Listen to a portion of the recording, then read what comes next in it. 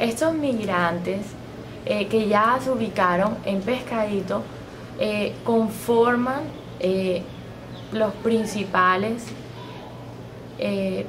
personas que desarrollan el ritmo, es decir, que son los pilares del ritmo porque las personas no solamente cuando vienen de sus lugares de orígenes traen su cuerpo, sino que también traen su familia, su cultura y sus modos de pensar y sentir. Así, traen consigo su música de sus lugares y se mezcla con una amalgama musical ya existente en Santa Marta, ya que Santa Marta, por ser una ciudad colonial, también tiene una, tradición histórica eh, de de esclavos y eso ya meritaba un cierto tipo de música de tambores presente en la ciudad de Santa Marta y unas connotaciones específicas que se le habían dado a ese ritmo.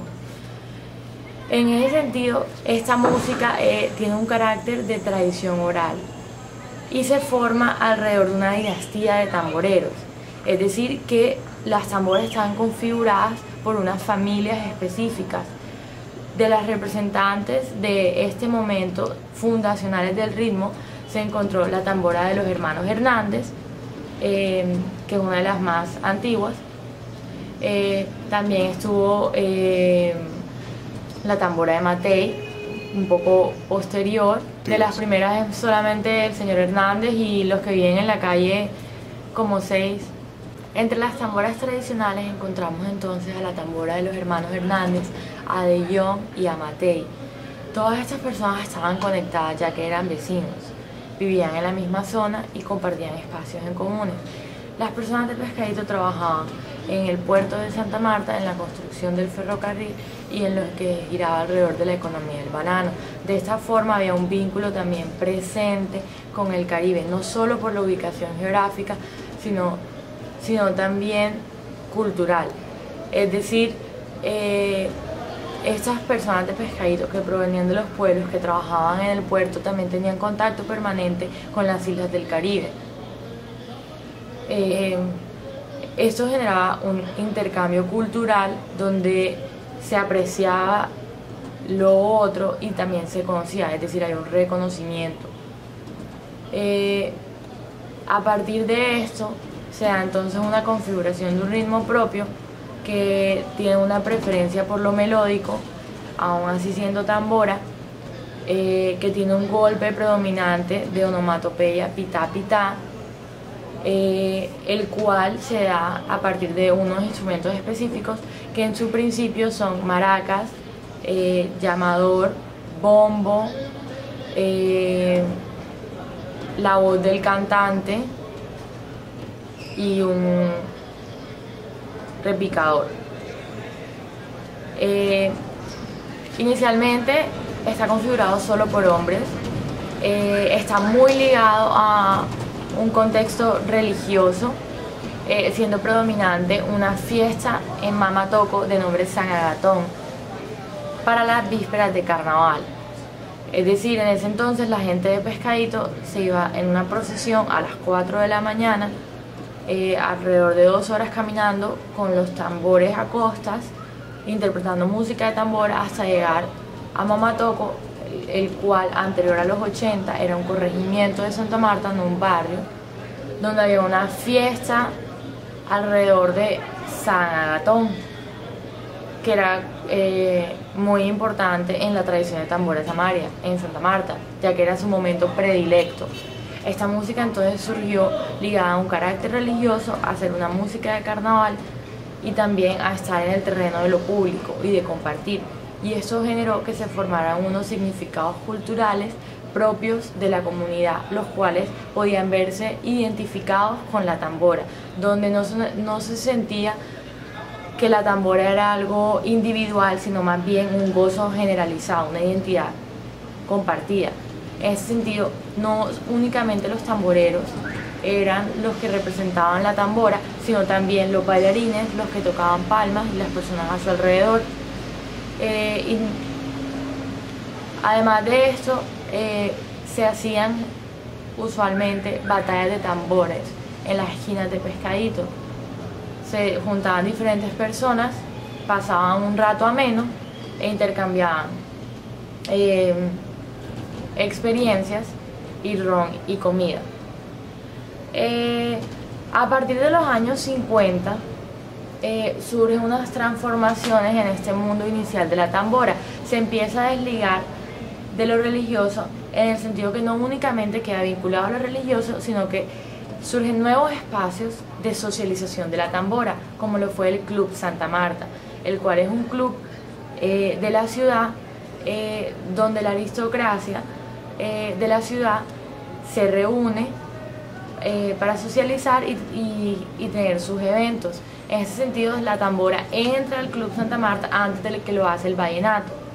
Y eso también va generando un cambio en las representaciones que no solo la élite samaria tiene de la tambora, sino en general, lo cual surge, como dije, en los 50, que es un periodo importante a nivel nacional de Colombia, ya que se da la, la tropicalización del país, lo cual podemos ver que la música de la costa para el periodo de los años 50 es también revalorizada, no solo en Santa Marta, sino a nivel nacional, inclusive desde Bogotá con la, música, con la aceptación de una identidad costeña, ya no únicamente bárbara, sino también eh, entendible, eh, bueno, entendible no, pero sí visible y legitimada. Eh, como por ejemplo la música de Lucho Bermúdez, que se empieza a tocar en Bogotá. Luego vemos cómo este contexto nacional también se da en lo local, que es en Santa Marta. A partir de que empieza a entrar en el Club Santa Marta, la élite Samaria empieza a considerar que eso también es una música digna, que, que, le gusta, es bailable y que puede ser entendida también como algo propio. Entonces empieza un proceso de legitimación de la élite samaria, lo cual produce también la democratización eh, del ritmo, porque ya no únicamente está catalogado como una división de clases, es decir, la gente de pescadito por allá la gente afro o la gente de cierta clase social es la que consume el ritmo, sino que nosotros como samarios también consumimos el ritmo. Entonces se empieza a tejer lentamente eh, una identidad social, eh, musical, a través de este ritmo, eh, que en parte también es, representa su importancia. no solo entra al Club Santa Marta, sino que entra en otros espacios. Eh, vemos, por ejemplo, que era muy utilizada para campañas políticas, para fiestas entre amigos, eh, y a partir de los 50 eh, empieza a entrar a ser parte de la música de carnaval, pero no solo de calle, sino también dentro de instituciones, es decir, como el Club Santa Marta. también comienza posteriormente, esto genera un cambio porque en Santa Marta para los 70 surge un fenómeno que se llamó la bonanza marimbera. Aparentemente parecería que no está relacionado con la tambora, pero está totalmente relacionado con la tambora. ¿Qué fue la bonanza marimbera? La bonanza marimbera fue un periodo de comercialización de la marihuana que se dio en, en Santa Marta, principalmente, ya que sucedió en la Sierra Nevada. Es decir, que Santa Marta era un punto, las falas de la sierra y las parques, eh, perdón, las playas del Parque Tayrona era un punto estratégico para el desarrollo de esa nueva economía en la zona. ¿Por qué? Porque en la Sierra Nevada era la, eh, el punto de producción y en sus faldas y las playas era el punto de comercialización y export, y de exportar la droga. En ese sentido, los narcotraficantes, que no solo eran samarios, sino también eh, guajiros empezaron a tener sus puntos de desembarque y fincas en las estribaciones de la Sierra Nevada y en, los, en, las playas del Parque Tayrona. En ese sentido, había mucho dinero circulante en la ciudad y también, como ellos tenían estos nuevos espacios, ameritaban una animación para sus parrandas. En ese sentido, la tambora eh, entra a jugar un rol especial en este momento, ya que fue también consumida por estos narcotraficantes. Ellos contrataban tambora desde Santa Marta y de, eh, los músicos se iban en su camioneta hasta llegar a estas zonas, es decir que ya la música se desplaza al lugar, si bien inició principalmente en un barrio, en Pescadito, para ampliarse poco a poco a diferentes lugares de Santa Marta, como lo fue el club y otras zonas fuera de Pescadito, también vemos ya que no solamente está pasó dentro de Pescadito, aparte de la ciudad, hasta fuera de la ciudad. Eh, durante estos momentos eh, se comenzó a interpretar por tanda. Esto quiere decir una ruptura importante en la tambora samaria, ya que se alteraron las lógicas mercantiles a partir de la bonanza merimbera. Previa a esta etapa, la tambora no se cobraba, era simplemente un intercambio por ron y comida. Yo toco, tomamos o a cambio de comida. Pero por todo el contexto de dinero circulante y animación a las parandas comenzó a pagárseles por una hora de música interpretada, lo cual se llama acá tanda. Eh, eso surgió, esto causó, perdón, una, unas rupturas. ¿En qué sentido? Eh, esto creó dos figuras que no existían antes en la tambora samaria. Se creó al pagar por tanda, se alejó del de, de lo colectivo, una ruptura. Entonces ya, ya no era todos juntos somos tambora, sino que hay unos artistas y hay un público, lo cual no existía antes. Esto hizo que al haber un, al, al transformar a los tamboreros en artistas, eh, sus canciones eh, interpretadas no fueran únicamente las cuales las que tuvieran un sentido cultural y, identidad para su comunidad en Pescadito, sino que fueran moldeadas para esa nueva figura del público, es decir, que se comenzó a interpretar las canciones de moda en ritmo de tambora samaria. Además de, surgir esta división entre artista y público y, comenzar a esbozar la comercialización de la tradición, también se dieron nuevos incentivos para la tambora samaria y para sus tamboreros y sus músicos, ya que anteriormente no era considerado ni valorado económicamente, pero ahora sí. Entonces, la bonanza marimbera jugó un, generó unos espacios fundamentales para el crecimiento y el desarrollo de la tambora samaria.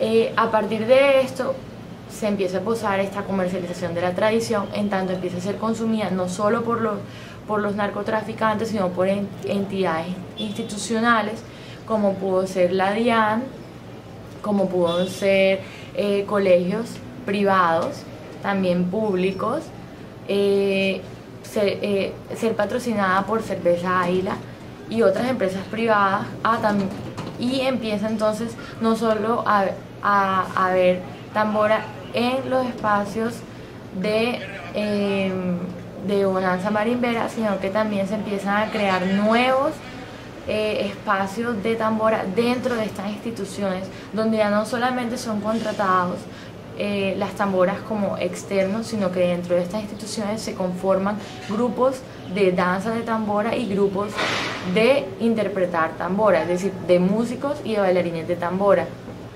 Eh, luego eh, especialmente durante carnavales y aniversarios, lo cual va transformando también los significados del ritmo y va alterando musicalmente lo que significaba, ya que, como dije, tenía, obedecía inicialmente a unos eh, instrumentos específicos, como, como fue el bombo, el llamador, el repicador o el alegre.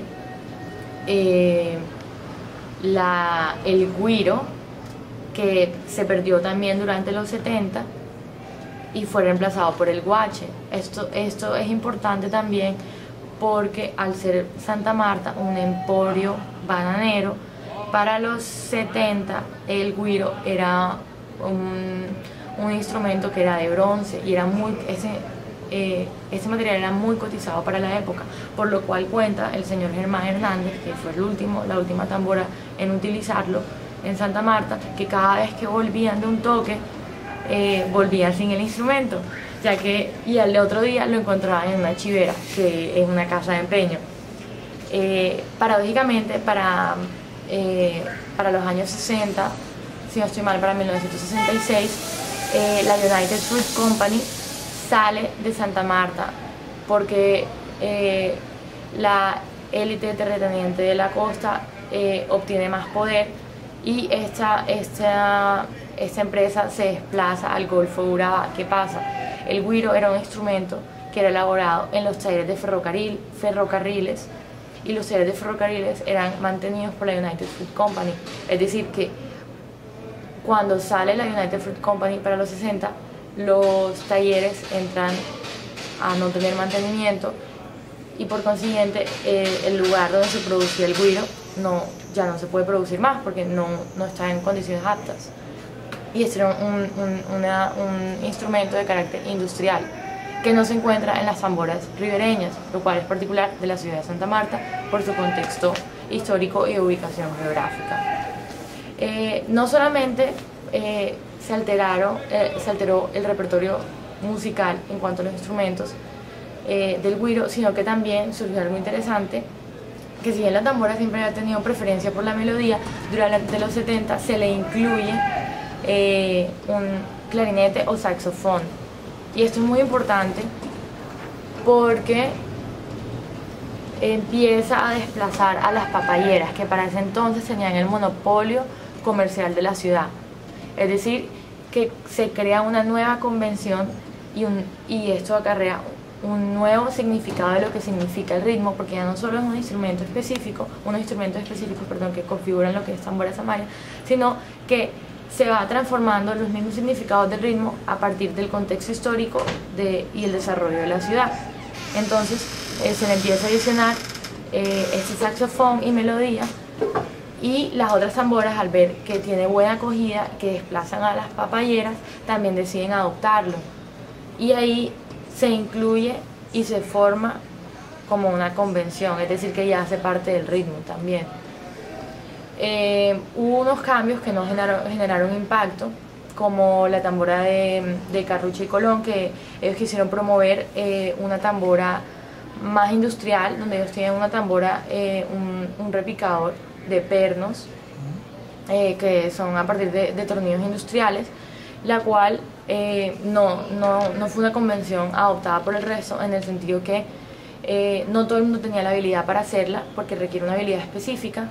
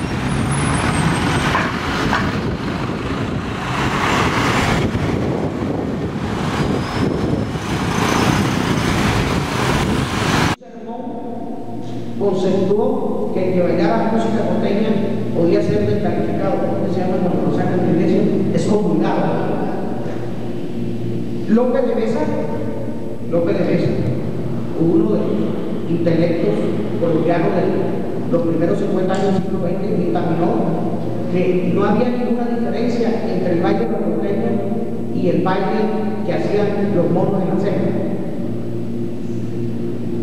Todo eso hace que cuando Lucho Bermúdez, cuando sale de Santa Marta, acuérdense que Lucho Bermúdez es de Carmen de Bolívar.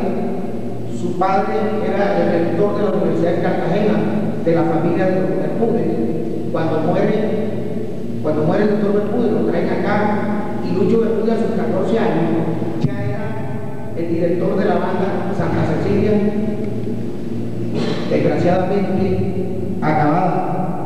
Y tengo que decirlo, en el gobierno de Jorge Caballero Caballero. Santa Cecilia que acompañó inclusive a la Puerta del Libertador, aquí al lado, tocó un famoso, una, un famoso Rieki, compuesto por el director que era francés, no me acuerdo el nombre de ahora, y tocó y acabaron con esa Lucho Bermúdez fue uno de sus directores. Sale Lucho para Bogotá en 1944 a llevar el coro. Pero, eh, acuérdense que las emisoras en Colombia, incluyendo la de Barranquilla y la de Santa Marta, tenía su propio radioteatro donde presentaban la orquesta. Lucho tenía su orquesta y tocaba el famoso Hotel Granada. Y tuvo que descrear su orquesta. Eso significaba que allá no aceptaban al músico negro. Y tuvo que descrearlo poniendo músicos bogotanos.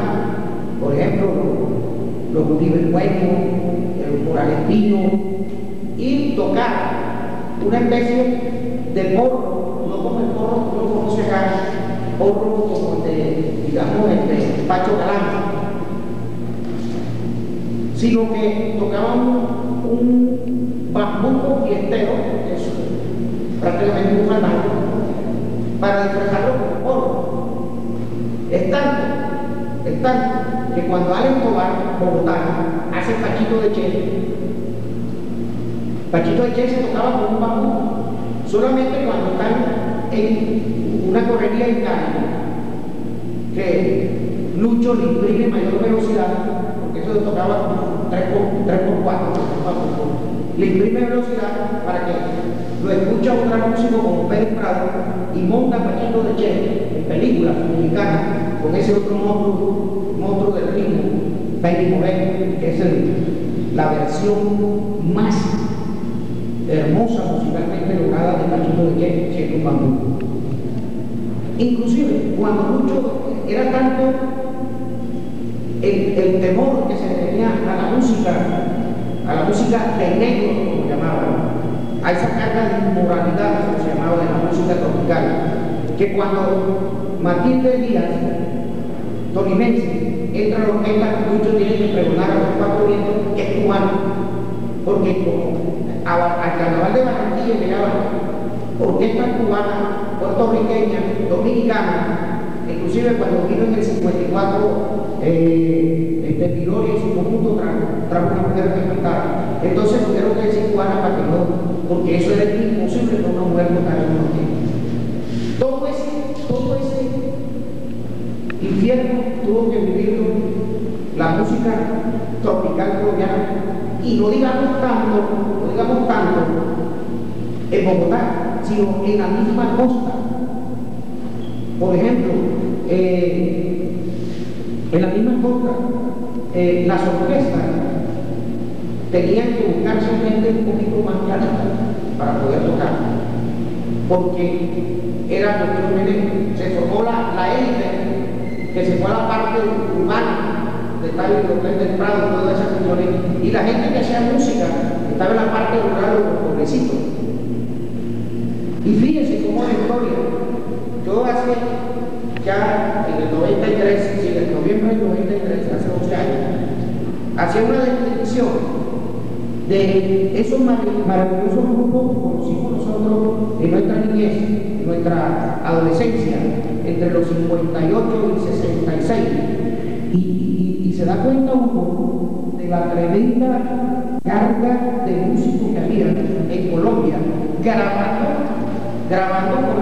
cuatro impresoras de disco que había y les voy a dar unos títulos.